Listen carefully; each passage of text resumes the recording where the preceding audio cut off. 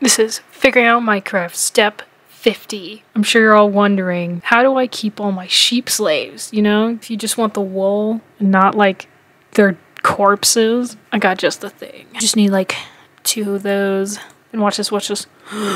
right click. Oh, I um can't get in there. It's fine. I'll figure something out.